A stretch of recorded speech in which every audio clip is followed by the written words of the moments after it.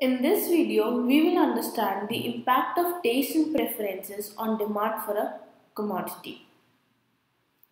See, your taste and preferences are affected by three factors.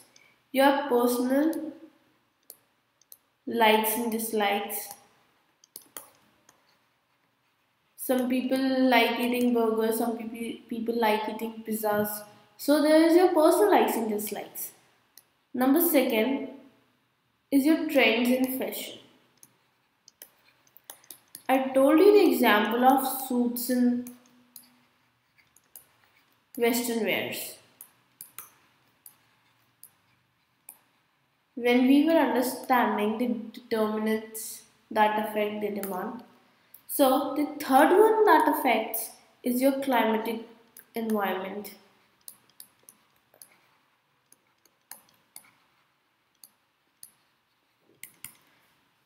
You will uh, you will demand woolen in winters. You will demand cotton clothes in summers.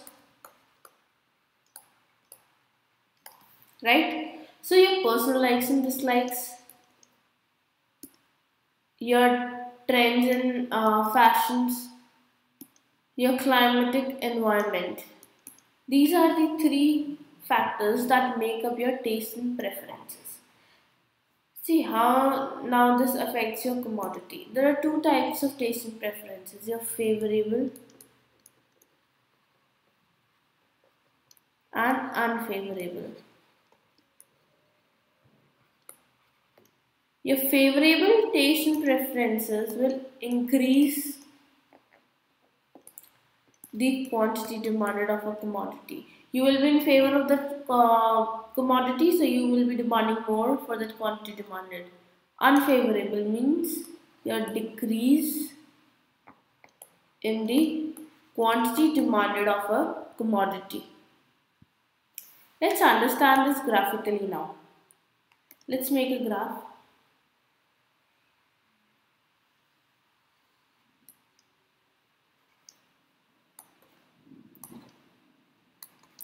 This is your quantity.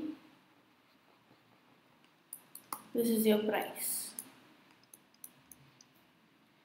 The price of the quantity remains same as there is no change in the price of the uh, commodity, right? What is changing your quantity demanded are your taste and preferences. So let's take your initial demand at D. you were demanding the Q1 of that commodity X. Right? Your favorable taste and preferences have shifted your demand curve to because you, you are favor in, uh, in favor of that commodity X. So this will ultimately increase the quantity demanded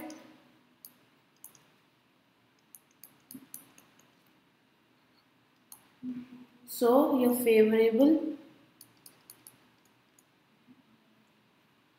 taste and preferences.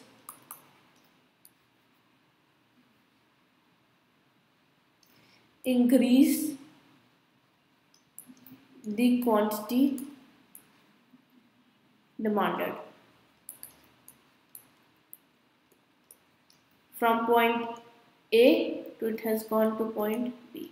Now let's say you are unfavorable uh, taste and preference for that particular commodity X what will you do? You will definitely reduce your demand. So ultimately what will happen? Your quantity demanded gets reduced to let's say Q3. This is the point C. At point C, unfavorable taste and preferences